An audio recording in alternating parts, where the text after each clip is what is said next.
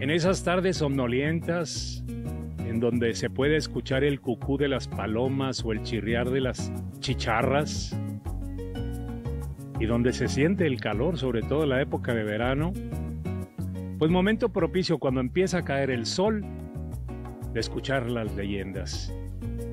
Y vamos a escuchar una leyenda aquí en San Miguel de Apodaca muy especial que me la va a platicar el cronista junto de este poblado de Apodaca, que es la tumba arropada. Y es el licenciado Emanuel Treviño, cronista junto de, de este municipio. A ver, platícame, Lick. Pues es una historia que no se pierde la tradición con ella, porque justamente sucedió en las fiestas patronales.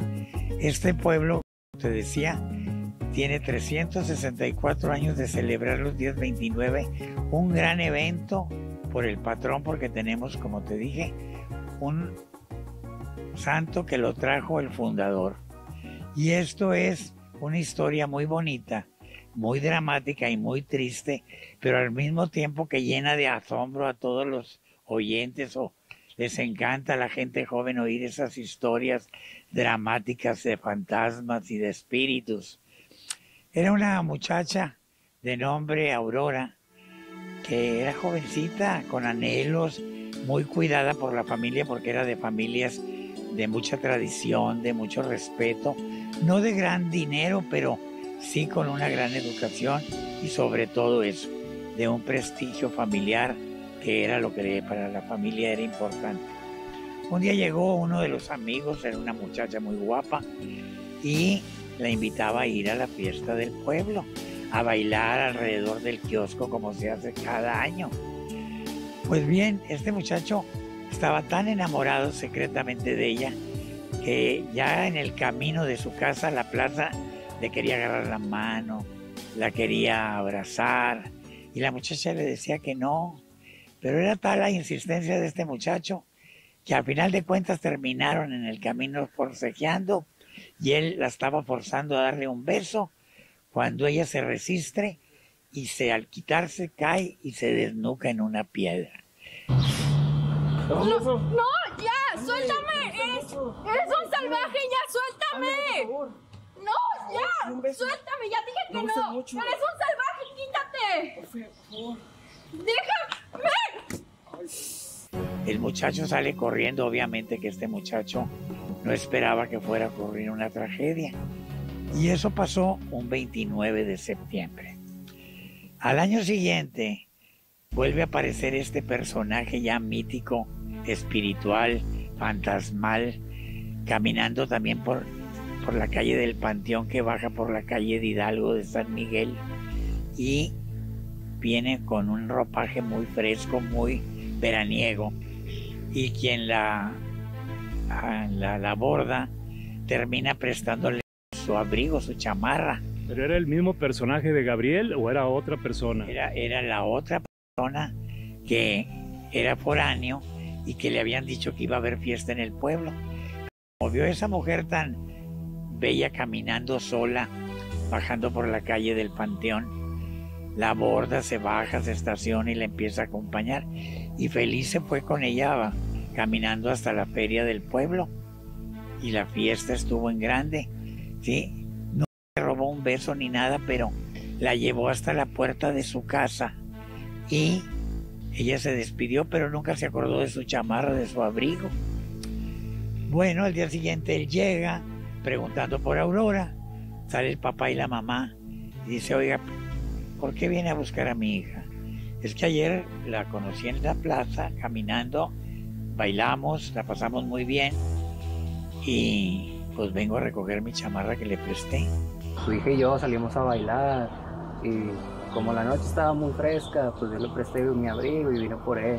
¿Y quién lo mandó? ¿Quién lo mandó a jugarme esta broma cruel? Dice, justamente hoy cumple un año de muerta mi hija. Mucho nos ha dolido. No, espérame, vieja, espérame. No, no, aquí yo lo arreglo. Mucho nos ha dolido a mi esposa y a mí que no esté nuestra hija con nosotros para que venga usted a burlarse. ¿Por qué es usted tan cruel y viene a recordarnos esta tragedia? Pues este suceso siguió ocurriendo año tras año y la gente espera, pero la gente nunca ve nada.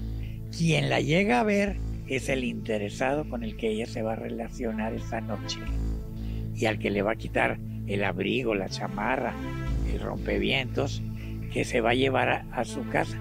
Los papás años después se acostumbraron a esto y estaban listos para llevarlos a la tumba donde estaba la chamarra o el abrigo, arropando esa tumba. Esa es la historia de la leyenda de la tumba arropada.